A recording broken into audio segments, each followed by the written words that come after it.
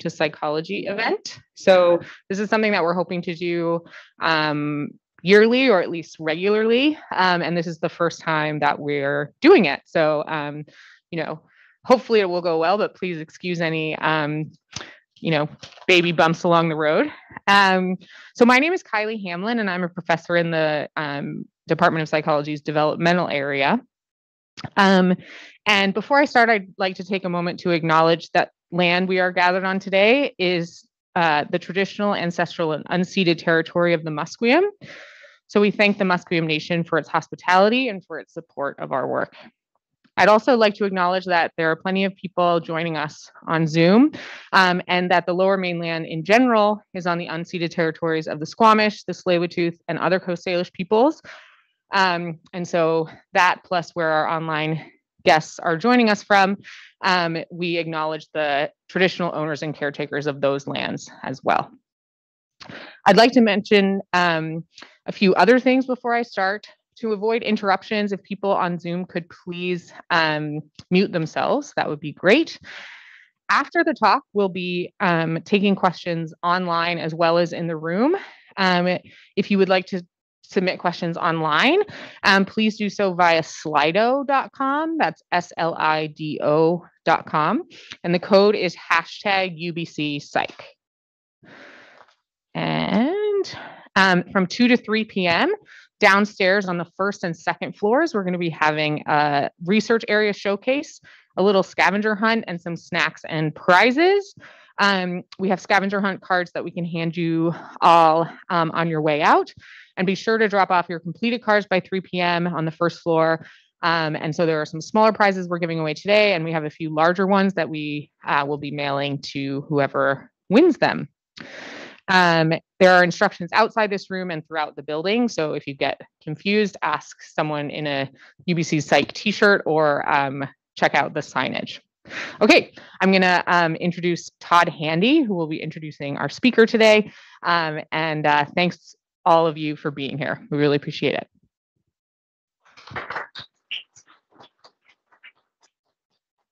Thanks, Kiley. Um, it's my pleasure today uh, introduce our uh, inaugural homecoming speaker here in psychology. And I think uh, Dr. Julia Kam was an absolutely wonderful choice for this for uh, three central reasons. First, um, Julia was a uh, an, is an alumnus of our undergraduate honors program.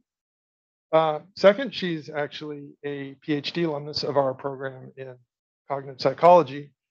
And uh, third and finally, as her title suggests, she does really, really interesting work, sort of in the area of uh, dynamic thought and sort of what goes on in our heads as humans having, you know, our daily experience of stuff just flowing through our head. Um, and so I'm really excited to hear her talking about this. And so um, she's going to be telling us about work that I guess originally started when she was here at UBC in my lab.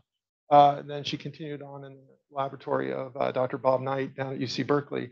And since uh, 2020, um, has been conducting her own work at the University of Calgary, where she's joining us from. So without further ado, please uh, welcome uh, Julia back to UBC.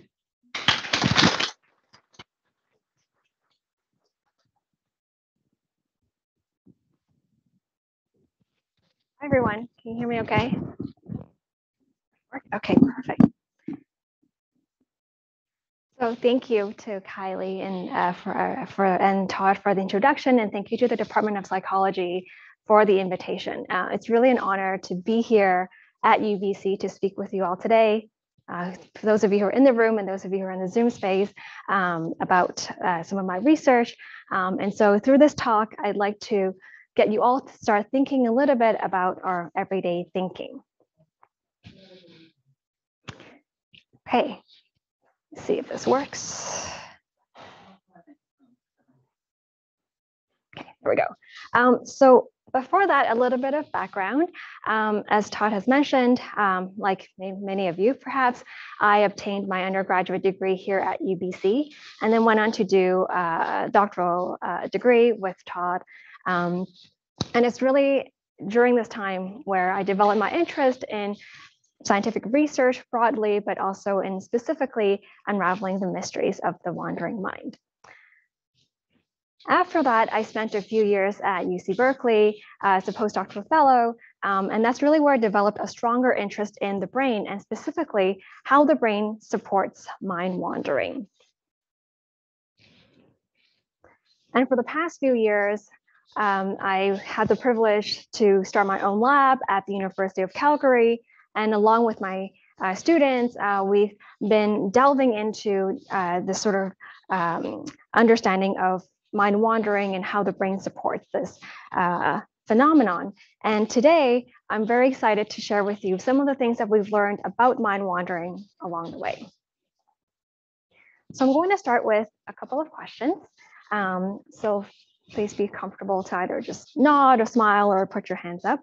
Um, so let's see. Have you had this experience of, you know, driving home, getting there, and then not realizing how you got there? Yeah, right.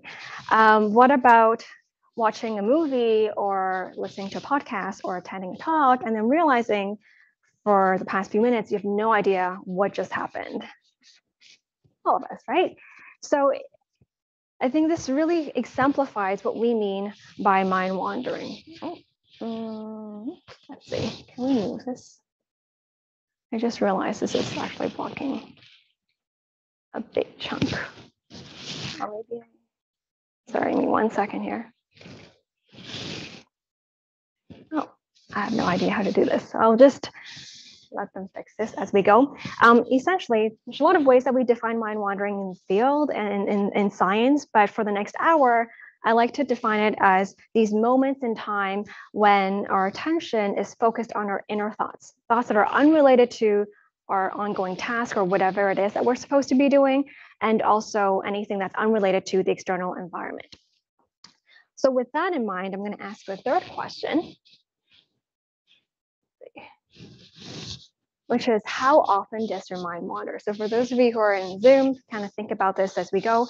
You can just keep your hands up um, for as long as this applies to you. Let's say on average 20% of the day, 40%. Feel free to take a look around you, 60%. And keep 80%. If your supervisors are here, if your boss is here, feel free to put your hands down. Totally normal. Hi, sorry, one sec there any way we can see? Okay, perfect. I'll just let you do your. Thank you. Um, so what that tells us is that this is a very common experience, um, and that also that um, oh, no problem. I'll just go back. and um, that, but that there are also individual differences, right? So some of us mind wander more regularly than others. Um, but an important point to point out is that we all experience mind wandering. And that's really what I like to talk to you about a bit more today. Um, no, no, you're totally fine. Um, but it would be really nice to be able to maybe remove that at some point. Yeah, but I'm just going to advance maybe as we go, and then you can take a look. Thank you. Um, so one of the first questions I want to talk about is the why. Why do we care about mind wandering? It's something that we write in every single paper, grant application, or even in like in media interviews. And you might even be thinking about this as well, right? So why do we care about mind wandering? And I'll tell you one of the two main reasons for that is something that we've already sort of established in our quick little survey there, right? Which is that it's very, very prevalent. So mind wandering can take up to half of our awake time. That's what scientific studies have shown, and maybe your own personal experience will confirm this. Um, and what's also important to mention is that in addition to being prevalent, the idea is that when it does happen, it can lead to a wide range of impact on our day-to-day lives. And more oftentimes than not, we tend to think about the negative outcomes of mind wandering. So for example, when we think about mind wandering, we think about the mistakes that we do, that tends to be very strongly associated with these errors that we make, let's say on an ongoing task, right? You know, this idea of, oh, I, you know, wasn't really paying attention, so I knocked over this glass of water, something that happens quite frequently. Another major outcome that's more on the negative end is negative affect. So there's been this really strong association that's been shown in earlier research between mind wandering or not paying attention to what you're supposed to be doing and reporting more negative affect. So individuals who report that they weren't paying attention to what they're doing tend to report more negative affect. I'll have I'll put a huge caveat to that finding um, and to say that it's really not as simple and straightforward as that. And I'll come back to this in the next slide, telling you a little bit more about how that really just depends on what kind of thoughts that we uh, that we're having. And then finally, on the more severe end of the spectrum are clinical symptoms. So when we think about mind wandering, some of the symptoms that you might think about uh, that tends to come to mind are symptoms associated with ADHD or uh, depression. And we'll talk a little bit more about that soon as well.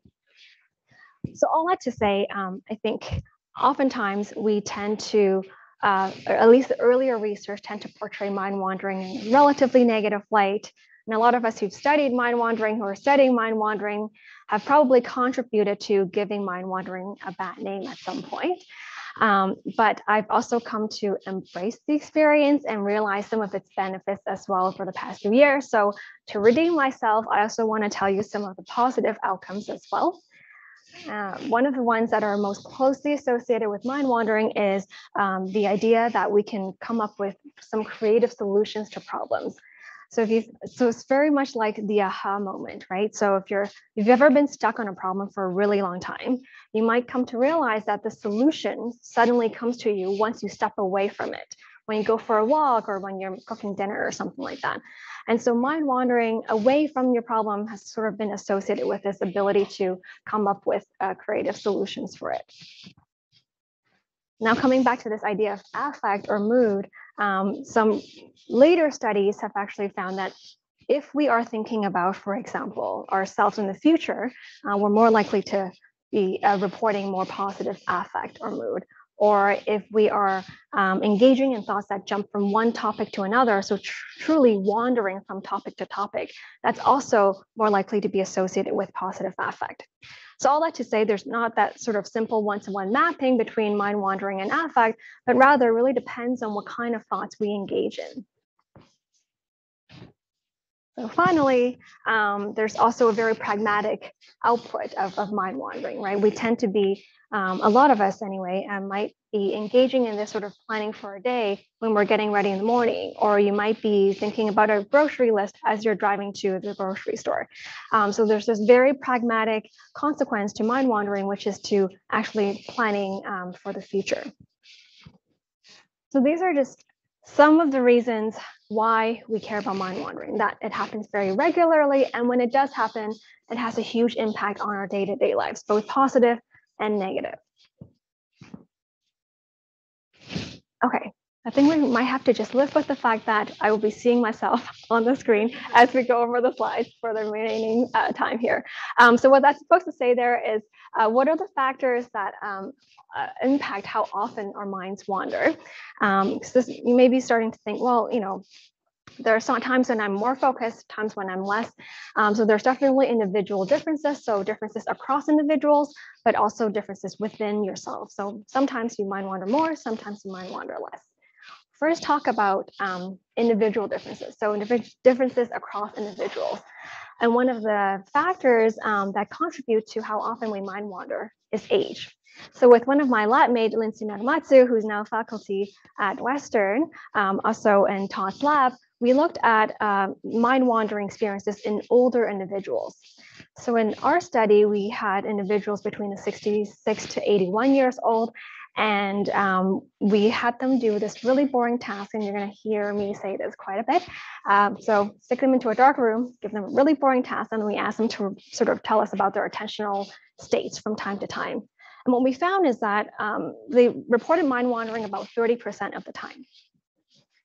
And if we take that and then compare that to um, all of our undergraduate students, primarily these younger adults uh, between 18 to 35 years old, um, what I'm about to show you is a, uh, an average across 10 studies over um, the span of a few years and uh, probably involving about 200 individuals or so, they tend to report mind wandering about 50% of the time. Same sort of context, right? Boring task, dark room in uh, the psych department. Um, and so uh, what we're seeing here is are these sort of numerical differences um, that has been supported by earlier and subsequent studies confirming these findings that there are these age effects. So essentially, um, older individuals tend to report lower levels of mind wandering compared to younger adults.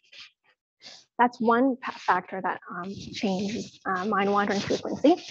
Another one is one that we've already alluded to, so clinical or subclinical symptoms. And the one that's more commonly studied um, is ADHD. So for example, one study found that individuals with ADHD um, reported higher levels of mind wandering compared to individuals without ADHD. Um, and another way of thinking about this is uh, this other study that found that individuals who reported higher levels of mind wandering um, reported also uh, higher levels of ADHD symptoms, and specifically the inattentive type. So this is uh, these are symptoms that are related to distractibility and just uh, not being able to focus on what they're supposed to be doing. Um, and that's the case in when they compare it to individuals who reported lower levels of mind wandering. So what that suggests to us is that regardless of how you look at this relationship, we find the same pattern, which is that there's this positive relationship between individuals with ADHD and those who report mind wandering. So, so far we've talked about individual differences um, and there are also factors that impact how often you as an individual uh, may report mind wandering throughout different times of the day. And that's based on this theoretical framework on current concerns. So the idea being that, you know, we have these priorities and goals. And if what we're supposed to be doing at the moment doesn't really quite align with those priorities, then we might more we may more likely engage in thoughts align with those goals or concerns that we have currently. So as an example, if you had you know an argument with your partner or if your family is experiencing some health issues, family member, you're more likely to be probably prioritizing that and thinking about that, even though you're supposed to be working, right? Um, an example um, that I've personally experienced during the pandemic was, you know, reading a lot about uh, COVID-19 news. So when I read about the news in the morning, I find myself coming back to these news stories throughout the day at work. I don't know if you've had this experience, especially early on during the pandemic. And that's what really inspired the study that we did um, along with my student Chelsea Hart here, where um, we asked individuals to report if they had consumed COVID-19 news, either you know if they listened to the radio, I don't know if people still uh, listen to the radio these days, um, or uh, watch the news on TV or through social media. And then we, we also asked them to report how focused they are on what they're doing. And what we found was that those who had reported that they've consumed COVID 19 news um, within the past couple of hours, they are more likely to be mind wandering than when they reported not having consumed COVID 19 news. Right. So uh, if they've consumed COVID 19 news here, they're more likely to report that they were mind wandering compared to if they were not, uh, if they didn't consume COVID-19 news.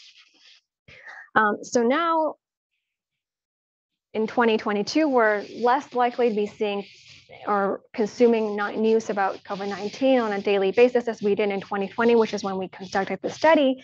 Um, so we did a second study that replicated these findings and then expanded to just news in general, right? So given this negative bias in news, what we found is that just if you had consumed news in general, you're more likely to be to have to report that you're mind wandering than if you did not consume news. So this is just another factor that can impact our frequency of mind wandering within an individual.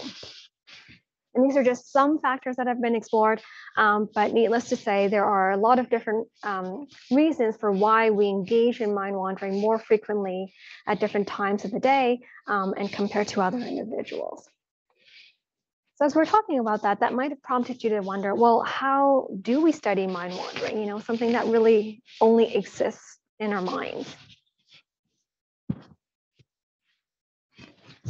So the one of the most commonly used method is experience sampling. Um, and this refers to a method in which we occasionally sample one's inner experience. That's the term experience sampling. And so what we typically do is, again, we get folks to come into our lab, do a really boring task in a dark room, and then occasionally, from time to time, we would ask them to report what they were thinking about. And specifically, were you paying attention to the task that we gave you, or were you not paying attention or mind wandering? And so, oh, works. Okay. So, you know, in the beginning, usually folks are pretty focused. They would report, yes, I was on task. And then we would ask them again. Oh, it occasionally works um, on task. And then occasionally they might report that they were supposed to say mind wandering over there. So in the course of a task, we might ask them every minute or so just to kind of get a sense of uh, the sort of how their attentional state ebbed and flowed over the course of the task. In the real world setting, we would also do that, but maybe like, for example, the new study that I just told you about, every hour or two, we would just send them a text message and say, what are you doing right now? Are you paying attention to what you're doing? And how are you feeling? And so on. And so this provides us with a really direct report of folks' attentional state. But like a critical thinker, you might think, well, doesn't, doesn't this seem a little bit subjective? And you might question, how do we know that they're actually telling the truth and whatnot? And so what we typically do is, com- is to combine experience sampling with uh, what we call more objective measures, right? So measures that you can't really as easily manipulate or change or lie about. Um, and one of the ones that we typically do in the lab is scalp EEG. Um, so these are just electrodes that are embedded into what looks like a swimming cap that we place on the participant's head, the scalp, and we measure the electrical activity in the brain through this method. Another one that's commonly used is eye movement. So these are eye trackers that track the movements of individuals' eye movement patterns, or we can also track the size of people, uh, the pupil as well.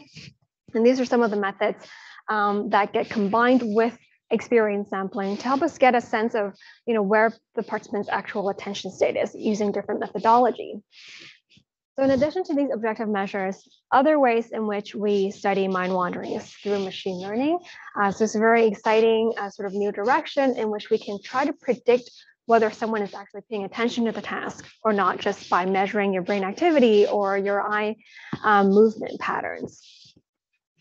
We've also talked a little bit about comparing different um, populations, so individuals with and without ADHD or individuals with and without depression and seeing how their mind wandering patterns change.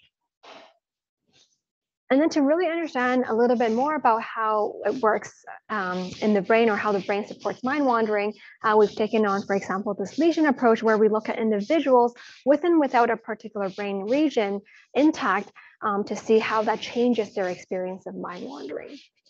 And then finally, a more invasive approach called intracranial EEG is what that says over there, um, where we have electrodes not on the scalp of the individuals, individuals but actually in the brains of, of certain patients. And we'll talk a little bit more about that then later. But these are just some of the common measures of mind wandering that I've used, but there are others that others have used as well, such as fMRI. Um, but we'll primarily talk about um, these three methods in today's talk, and we'll elaborate on them a little bit more as we progress through the talk. Okay, so I'm gonna ask you a question. Just now, were you on task or mind wandering? So if your intention here is to pay attention to the talk and if you're listening to what I'm saying right now, then your response would be on task. But if you have absolutely no idea what I'm talking about at this moment, then I would say that it's pretty safe to say that you're probably mind wandering. Um, and so that's an example of experience sampling that we would do in the real world, right? Um, you don't have to tell me your answer, you can just keep that to yourself. Okay, so using these methods to study mind wandering, one of the first uh, things that we asked um, in Todd's lab, uh, the series of questions that we um, asked uh, pertain to the neural consequences of mind wandering. So what's kind of going on in the brain and how does the brain respond to what we're supposed to be doing when we're mind wandering? To address this question, uh, what we did was we again had participants come in, do a really boring task. We flashed them with some visual stimuli, shapes, numbers, and whatnot. And then we asked them to respond to some, but not others. Um, and then we record their uh, scalp EEG, uh, record their EEG through this uh, cap here, is what this little icon here shows. And then we look at how the brain responds to um, events in the external environment differently when they're paying attention to the task versus to when they're mind wandering. And what I'm about to show you here uh, are the results of our first study. Um, so just going to walk you through this. We've got time on the x-axis, amplitude on the y-axis that indicates sort of the intensity of the brain's response. Uh, we've got zero here that indicates either you know something visual that we're flashing on the screen. In this case, it's a little square. Um, and then what you see here is this, uh, what we call an ERP component. So an event related potential component, which is just a very standard um, measure that we see in particular, this P1 here um, in response to a visual stimuli. So when you see a P1 here like this, it means that we are responding to a visual stimuli uh, in the environment. In this case, in this computer screen uh, in front of the participants. So the gray line here indicates the brain's response during uh, an on-task period, and then the green line here indicates the brain's response during mind wandering. And what you immediately see is that when we're mind wandering, we see the smaller uh, P1 ERP response compared to when we are on task. So essentially, during mind wandering, our brain's response to visual stimuli in the external environment is reduced.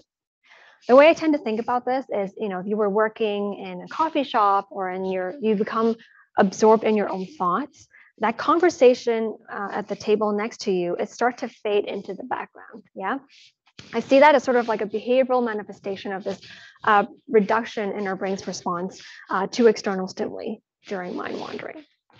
So that was the first study that we did where we found that mind wandering disrupted our visual response. And since then, we've replicated this study time and again um, and looking at different types of cognitive functions that were also disrupted. So for example, uh, we did another study where we flashed uh, in images that sort of elicited certain emotions. Um, and we see this P3 as a response to those images um, that are a bit more emotional or elicit uh, certain emotional states. And once again, we see that when we are mind wandering, as indicated by this green line here, uh, there's that there's this reduction in the response to an ERP component um, compared to when we're actually paying attention to those images. And then again, we found this during this um, process called uh, performance monitoring as indicated by um, an ERP component that we can't see here, but essentially it tracks our ability to monitor our performance, right? So if you are, for example, playing video games and you're trying to, um, uh, uh, you know, shoot a, a bad person in, in the game, um, being able to adjust if you had missed that shot uh, subsequently is what allows you to perform better over time. And this measure here that you cannot see um, on the screen uh, is, is what we see is that there's a great a much larger ERP component when we're paying attention to the task compared to when we're mind wandering. So this kind of goes back to you know that impaired task performance that we talked about earlier on. When we mind wander, we tend to make errors, and what this seems to suggest is that not only do we make errors, but we also don't adjust our performance subsequently to perform better. So all of these studies and many more um, really kind of converge on this notion that mind wandering seems to lead to this widespread disruption of our brain's response to external uh, stimuli. Um, but then what we actually realize is that it doesn't always lead to a disruption or reduction in our brain's response. There are also times when it actually leads to an increase in our brain's response.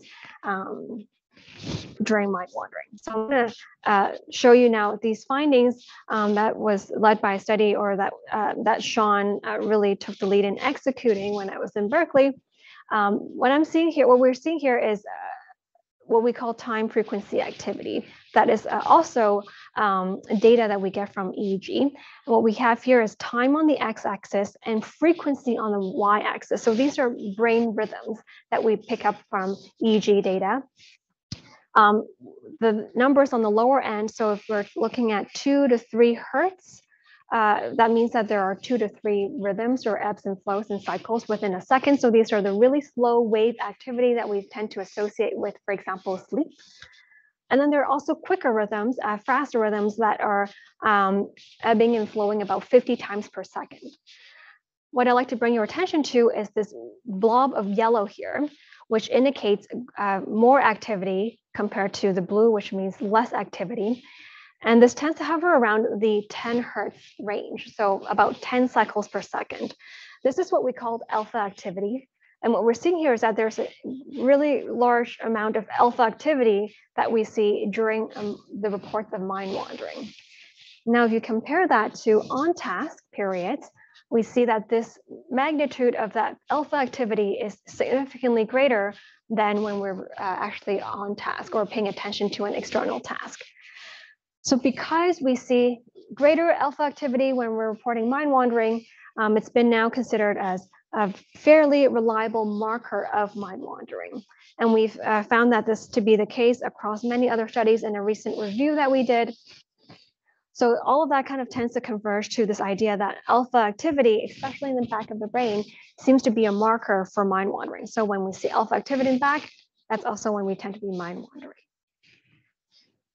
So far, I've told you a little bit about what we expect to see in response to some external stimuli um, when we're mind wandering. So how we respond to the external environment, but it doesn't quite get at you know how the brain actually supports mind wandering.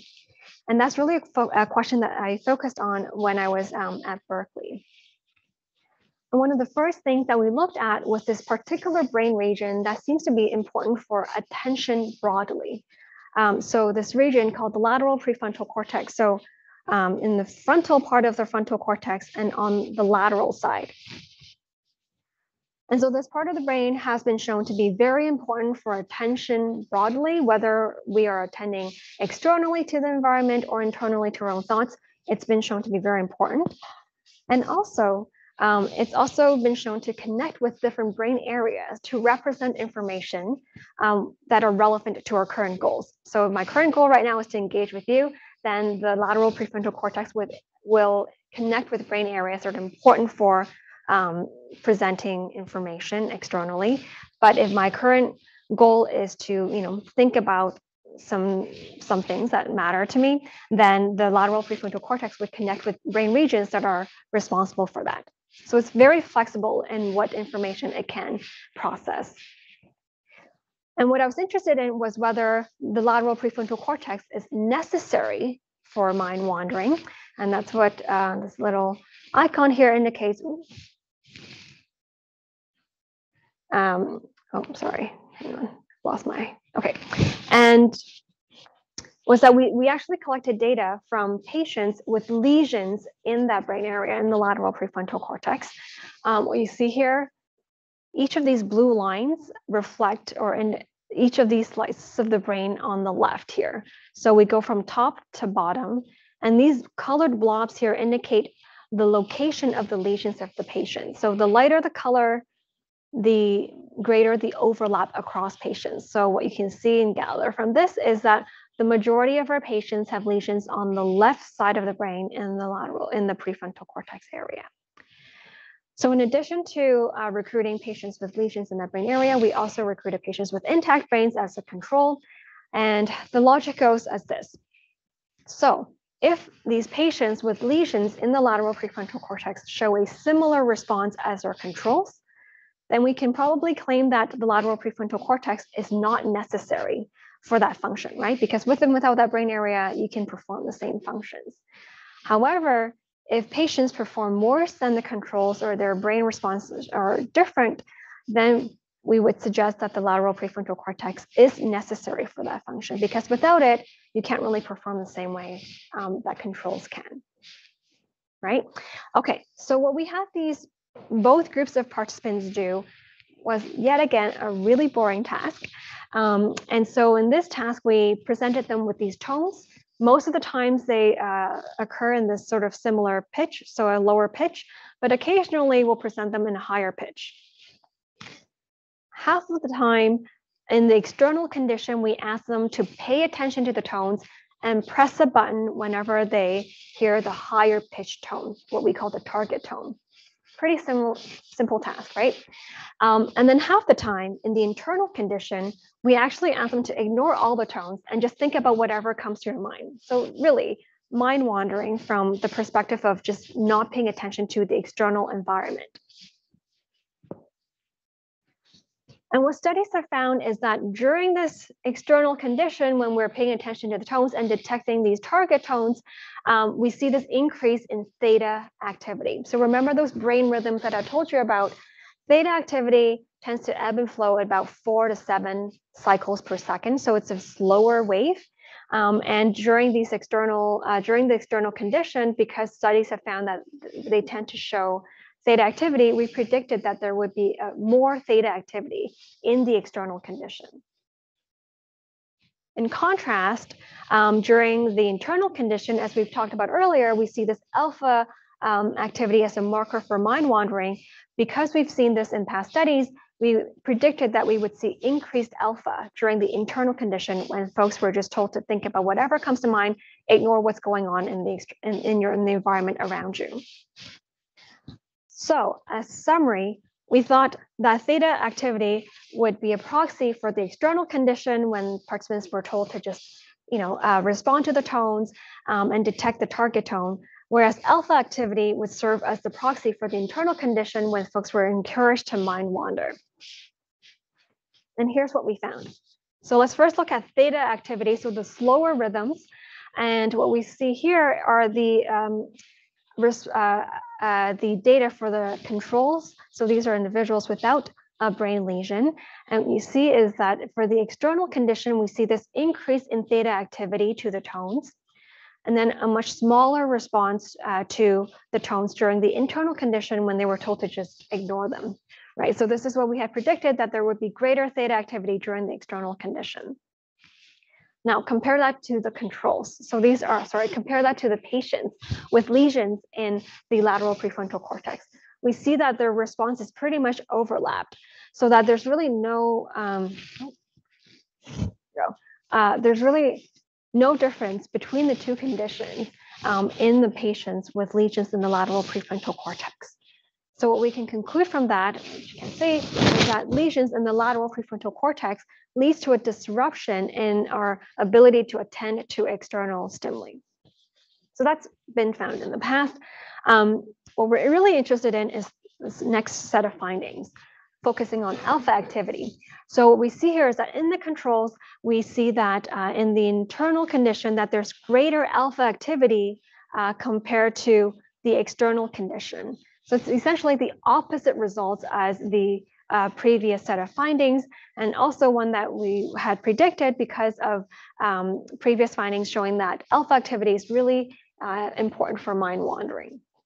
And once again, compare that to patients with lesions in the brain, we see that there's this overlap in their response uh, between the two conditions. Results are less clear cut than the previous set of findings, but nonetheless suggest that lesions in the lateral prefrontal cortex leads to a disruption in um, our ability to engage in these inner thoughts.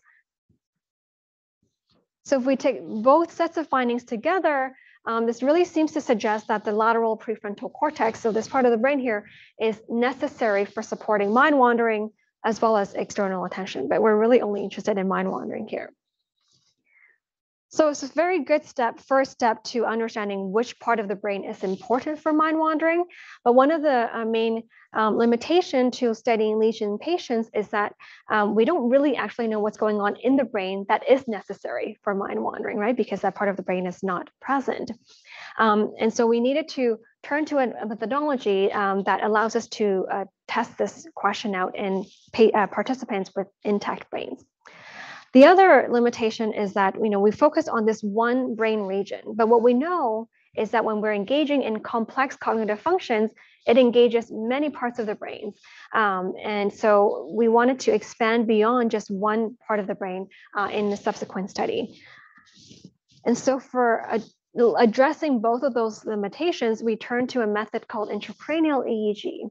So we started by talking about um, scalp EEG. These are electrodes that are placed on our scalp. Intracranial EEG is a method that involves um, placing or implanting electrodes inside participants, participants' brains, which is sort of indicated by this little icon there. Um, and these uh, are electrodes that are implanted um, in epilepsy patients, generally speaking, based on clinical reasons. So essentially, in order to determine where the epileptic, seizures are coming from, neurologists would then determine based on um, the electrical activity that they see in the electrodes um, that are embedded into their brains to determine the source of the epileptic seizures. And then once they determine the source, they would resect that part of the brain. So this is all based on clinical um, reasons. Um, and as scientists, we would just uh, essentially invite the, part- uh, the patients when they have these electrodes implanted in their brains while they're at the hospital to see if they're interested in participating in their study, in our study, um, and, and contributing to science. And these are examples of electrodes that get implanted into really the cortical surface of the brain. So if, we, if you imagine this here being the brain, we strip the scalp, the skull, um, and everything else uh, until we get to the brain. And these are electrodes that actually get placed onto the surface of the brain. Or there are these other types of electrodes that gets um, essentially drilled into the brain so that we can target the more medial structures of the brain. So with patients uh, with these electrodes implanted into their brains, we wanted to look at how activity in different parts of the brain uh, are engaged uh, during mind wandering. And we focused on two particular types of networks. So these are just uh, regions of the brain that are maybe far apart from each other, but work together to help us do what we do. And one of these network is the default mode network. So this is a network of regions that are really widely distributed. So front to back, lateral, so on the side, and also medial as well. And it's very strongly associated with mind wandering, uh, traditionally anyway, um, and a lot of other sort of internally oriented uh, cognitive functions. So for example, if you're thinking about the past, um, and yourself in the past, that tends to uh, recruit the default network. If you're thinking about others in a social situation, that also tends to recruit the default mode network. So that's one network that we're interested in. Another one is the frontal parietal control network. Um, and a core part of the of this network is the lateral prefrontal cortex that we just talked about. Uh, and so along with the lateral prefrontal cortex and other regions, uh, this is the control network uh, that has been implicated in, as the name suggests, high level control processes. So if you're trying to focus on a task that tends to recruit, for example, the, uh, this network here. And in a recent paper that came out of actually Kalina and Christoff's lab here, um, the Department of Psychology, um, they found that there are actually sub-networks in the frontal parietal control network. So there are some regions that are primarily responsible for controlling things that we do that involve the external environment. And then there are also some a sub network of regions that are responsible for um, these functions that we do that are that involve controlling internally oriented functions. So for short, I'm going to call them the external control network and the internal control network. And what they found was that there is a much stronger relationship between the default mode network and the internal control network, but not the external control network. So this really sets the stage very nicely for our study um, because what they found with fMRI is that when these areas in the default mode network become active, so does the areas in the internal control network. But what we don't quite know is how these networks tend to work together. And so using intracranial EEG, we can look at how they work together through these um, brain rhythms that we've just talked about. We specifically focused on the theta band rhythm, so these slow rhythms that we've talked about previously, because it's been very strongly implicated in control processes. So whenever we're trying to direct our attention to something, uh, theta band activity tends to be engaged. So we had patients um, with these electrodes implanted in their brains in these particular regions. So we looked at all three networks. We're mostly only interested in these two, but we also tested this one as for comparison purposes. And then we had participants do again this really boring task where they sometimes were told to pay attention to the tones, respond to the tones, and other times to just ignore all the tones um, completely. And what we're seeing here are electrodes implanted across all of our patients in these networks, right? So the red electrodes are electrodes in the default mode network. This is front of the brain, the back. Um, so a lot of electrodes really all over the front, back, lateral, and medial. And then also uh, electrodes that are implanted in the external control network in the dark blue and internal control network in the light blue. So again, we looked at the theta band connectivity between the default mode network and the internal control network. That's our primary question. And then also uh, looked at the external control network for comparison purposes. And here's what we found. So let's first look at the one that we're really interested in, which is the default mode network and the internal control network. Um, what we see here are the correlation values. So to what extent do um, theta band activity, these low rhythms, um, correlate between these two networks? Uh, what we see here is the internal condition on the right and external condition on the left. And what we found is that the theta band connectivity between the default mode network and the internal control network is significantly stronger uh, during the internal condition when they were told to just mind wander, essentially, compared to when they were told to pay attention to the tones of the external condition.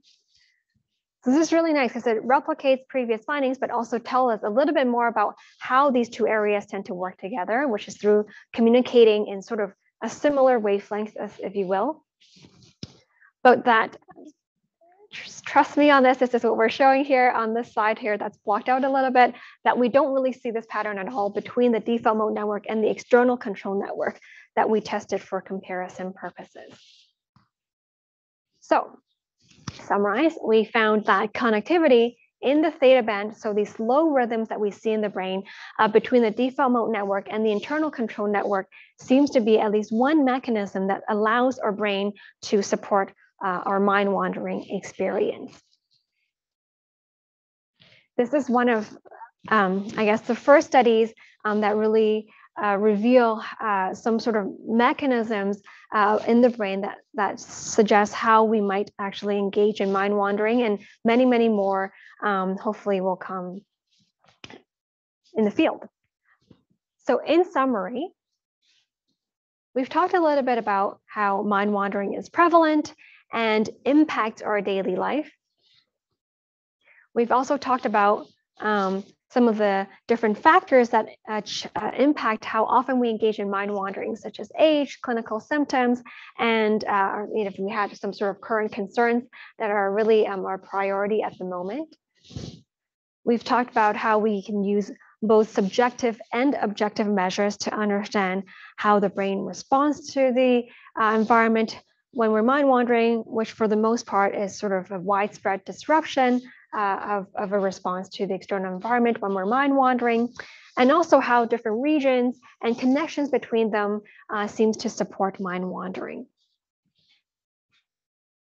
So in addition to continuing on to study how the brain supports mind wandering um, in, in, my lab at the moment, uh, we also took on a few uh, sort of directions currently and also will likely continue in the future one of which is using machine learning algorithms to predict our, our state of mind, one of which is mind wandering.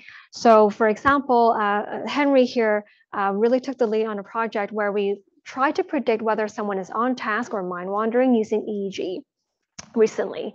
Um, and we were able to do it above chance level, not to a great extent. So that's something that we're hoping to work on in the future. Um, but what that means is that we can eventually imagine the implications of these findings, right? If you can predict whether someone is paying attention to their task or not, that has huge implications for uh, the educational context um, for example, also when we're driving, um, be good to be able to focus on the road uh, most of the times as opposed to not knowing, you know, how we got home, for example.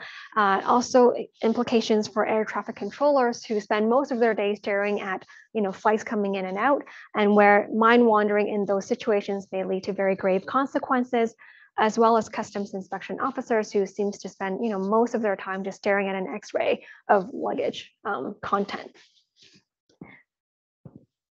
in addition to that, um, another um, direction that we're taking um, is to really try to understand clinical populations through their thought patterns. So for example, we've talked a little about, about ADHD individuals uh, with and without ADHD tend to have different types of thought patterns. Um, we've also we also know that individuals with and without depression also show differences in thought patterns as well.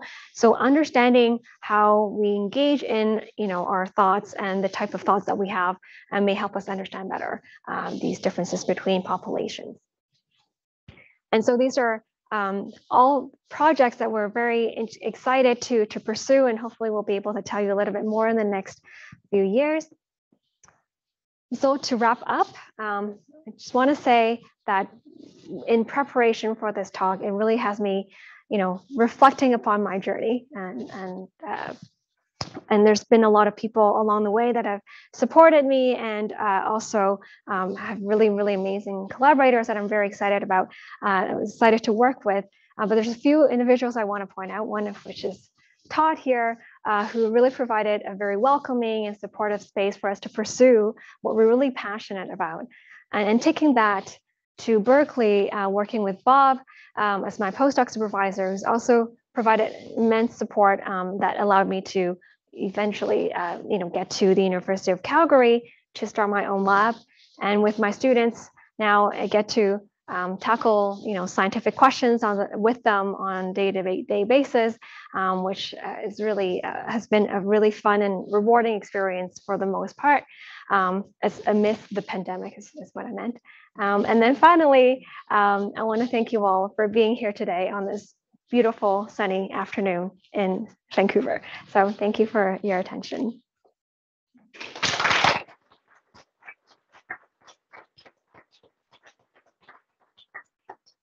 my understanding is that um, I will take some questions now if you have any, uh, either from the audience in the space or in Zoom.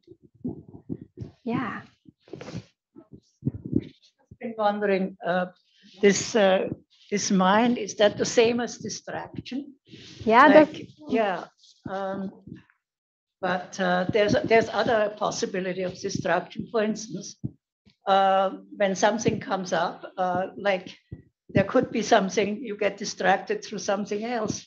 That's not one thought replacing the other.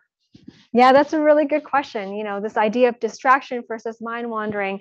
Um, I, so I think in the way that we study mind wandering, we don't tend to focus as much on external distraction. We tend to think about the thoughts that we have internally. Um, but in certain definitions of mind wandering, uh, that would very much include distraction as well, right? So if all I'm saying is, um, as long as you're not paying attention to the task. So let, us say listening to me talk right now is your task, and then suddenly you hear a boom somewhere else, like that. Perfect. Um, did not plan that. Um, and your attention immediately goes to where that is, then that would also be some sort of that would sort of be considered as you know mind wandering if the definition is just strictly related to the task in and of itself. Um, so I hate to say this, but you know, it really depends on how we define it. And in, in, in, science, we have various definitions of mind wandering that we're working with at the moment, um, and lots of debates about how we go about defining mind wandering. So I think you know, my response would be depends on how we define it, but certainly there are overlaps with distractibility. Yeah. Yeah. I have a question from Zoom. Thank you. Do you know of any case where mind wandering was really high to the point that it could be detrimental to the person? Oh, interesting. Um, I can speak to the first part of the question first.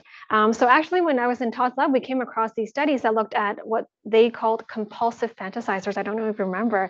So these are individuals who commit to mind wandering as, as almost like a social event. So instead of going out with friends, they would just rather prioritize being at home and wandering and you know creating their own sort of internal world really. Um, so i think it can happen very excessively but these are also individuals with you know um, professional jobs and, and whatnot. So i don't think it's detrimental to their profession per se.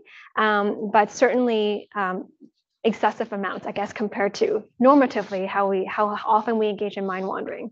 Um, I think it becomes detrimental when you are engaging in something else that could lead to grave consequences, right? So some of the things that we've talked about previously in the implications uh, is if you were a customs inspection officer or air traffic controller and you mind wander away from your job, that could lead to very grave consequences. So it really depends on, I think, the context in which mind wandering occurs. Yeah. Yeah. Oh, sorry. I think there's some mic. Would you mind waiting for that? Um, so I'm interested if you know of any like effective strategies that people might use to self-regulate their mind wandering Yeah. and whether these might change between children and adults. Yeah, that's a great question. I mean, I think that's something that we all kind of want to do at some point, right? Um, so I can I can give you, um, I can answer in terms of strategies. I don't know if they're effective or at least effective consistently across individuals. So I think one strategy that a lot of people have started to look at is mindfulness training, right? Um, so it kind of goes back to what I was referring to earlier, where it's more about whether you can control when it happens as opposed to controlling it so that it doesn't happen at all.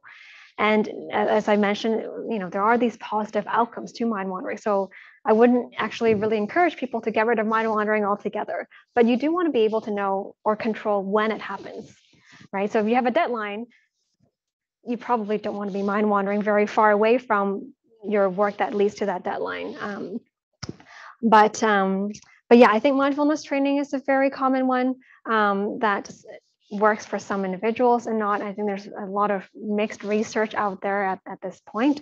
Um, and what is another one? Let me think. Mindfulness. That's the first thing that comes to mind right now. But there are lots of experts out there. So if you have any suggestions, um, please please share as well. But I think that would be the main one that comes to mind. Mhm. Yeah. Oh. Um, I noticed that when you were comparing the, I noticed that when we were comparing, or you were comparing the um, external line to the internal mind wandering Mhm. line, and the amplitude wasn't as great.